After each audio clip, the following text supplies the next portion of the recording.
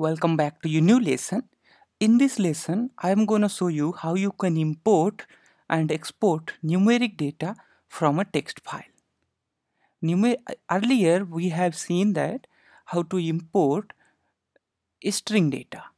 But here in this video I'll show you how you can generate a sample data and then how you can write that data into a CSV file so let's generate that data.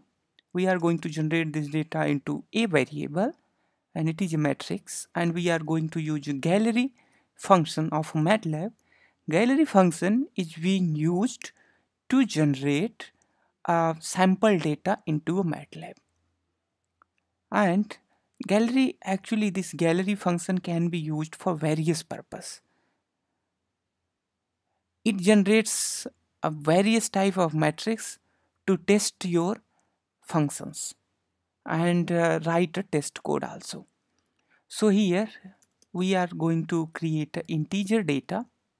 So the first parameter will be integer data and then I am going to specify the maximum value will be 99 and I am going to now specify the matrix dimension. So the dimension is 3 by 4 and then I am going to seed it with 1 so here this one specify that it will generate a type of uh, let's say variable uh, with one seed function what one seed variable.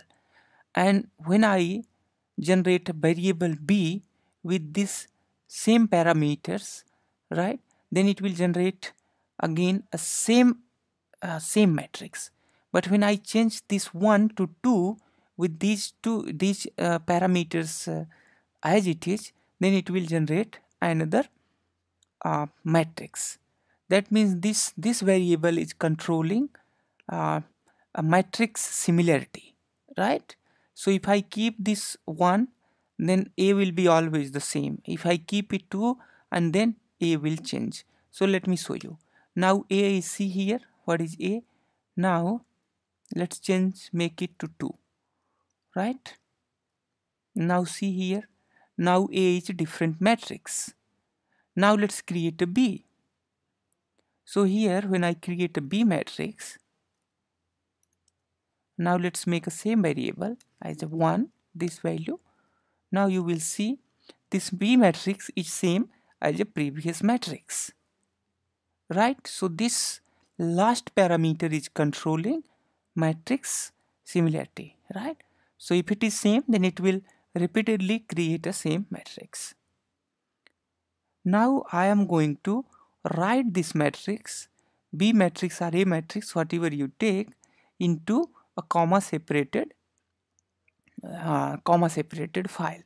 So for that there is MATLAB command that is DLM that is delimiter write right so DLM write and then I'm going to give a file name in which I'm going to write this. So I'm going to give it ph that is ph data and then I'm going to give here the matrix which I want to write and then here I'm going to specify delimiter right so when I hit the enter now you will see here ph dot dat is created and these values row values will be separated by comma. Let me open this file. Only you need to double click it. Once you double click it you will see here a preview window. Right? In a preview window now you can see here this is value is stored here. 87 67 53 and 25 you might not see here it is comma separated but but let me show you it with the load function load ph dot dat now let's print this ph right? So this is the same matrix but if you open this it into outside of MATLAB then you will be able to see it how it is written there. So let me open it into sublime text right? See here the value is stored with the comma separated. In the same way you can change it with some different um, you know with some different delimiter. Let's say suppose that if you want to change it with the space right then hit the enter. Now you must you will see here this is space separated right? Now let's say suppose that you want it with uh, sorry let, let's see uh, you want it with some other um, let's say semicolon separated and hit the enter. Now you will see here these values are so semicolon separated right? So with this DLM write you can control how these row values are separated. Great. Now suppose that now you want to read this CSV file okay? So this is comma separated. So let's again once again make it a comma separated once you make it a comma separated value hit the enter. Now this is stored into comma separated. Now suppose that you want to read this. For reading there is csv read function. So now read this function into new variable known as let's say n csv read. In the csv read now we need to give the file name which we want to read. So ph.dat right? So it will read that into n.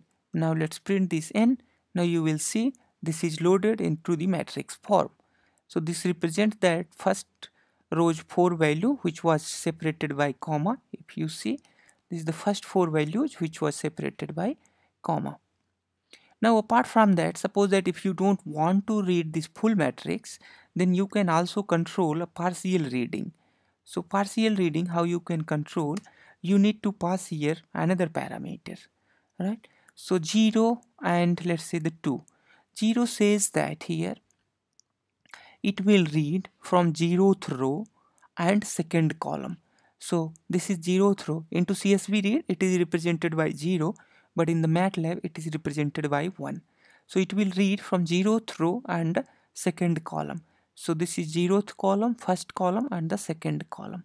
So it will read this matrix right so this will be the 0th row and the second column and after that it will read all the value. So let's print it.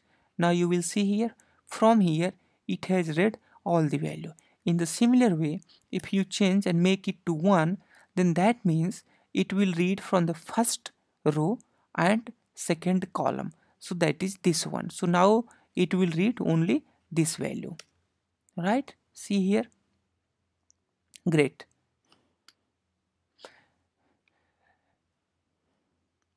now suppose that um, let's first create another .txt file right? So let's create uh, one more file.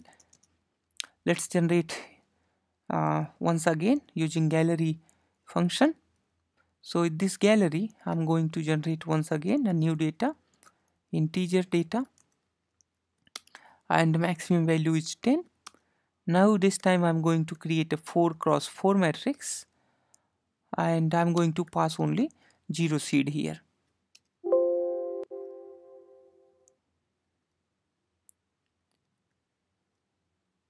Sorry this is a uh, this matrix name is actually wrong.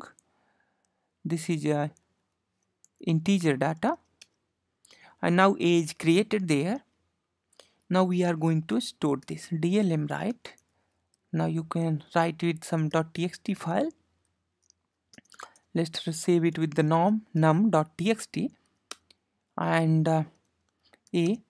And then I'm going to save it with tab separated.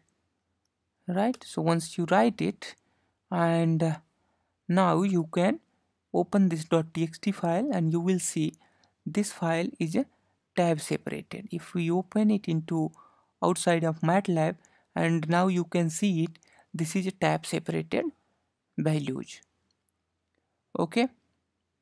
Right. Now we are going to read this into M matrix.